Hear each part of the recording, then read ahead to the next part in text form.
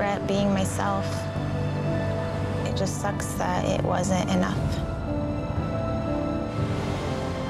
I am who I am, and there's someone out there who wants that.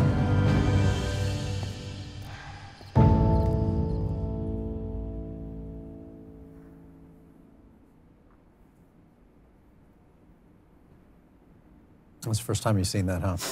Yeah, I haven't seen that. When you watch that, where, where do you go that makes you so emotional? I mean, going through this was the hardest thing I've ever done. And the one thing that kept me going through it all was Matt and our connection. And I genuinely was so confident, and I really thought he was going to meet my family because I, I wasn't paying attention to the other relationships in the house. And um, I know my personality is a lot uh, to handle. and for him to be accepting of it, that's what you want, you know? And I've, I feel like I've settled so many times in the past or compromised my personality to fit the needs of a guy I was with. And, and this was just the first time I didn't have to do that. And it was just so easy, which is why I was just so shocked that he sent me home because I just, I just didn't see it coming. What will those feelings be like when he comes out here tonight?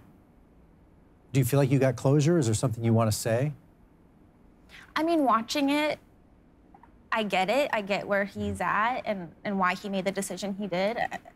It sucks because timing's everything. And when I watch the show back and I see his date with Michelle or with Rachel, I don't know that I actually stood a chance timing wise. You know, it looked like he was already getting there with other women. So, what did this do to you? Where are you in all this now?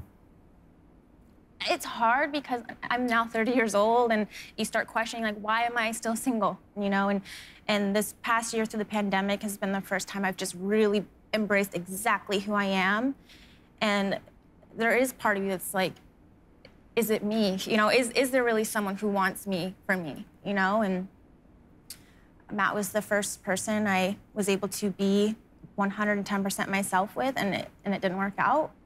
So that's tough, but I just have to remain hopeful that my person's still out there.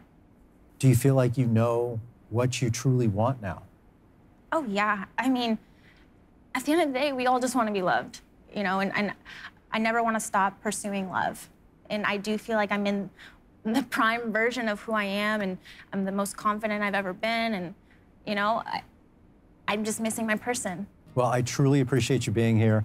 One thing I honestly have always appreciated about you, you wear your heart on your sleeve, and you are undeniably always just you. Uh, truly, thank you very much.